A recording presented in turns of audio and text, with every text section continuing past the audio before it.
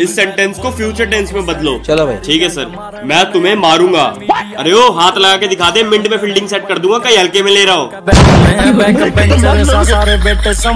बेटा मैं तुम्हारा टीचर हूँ।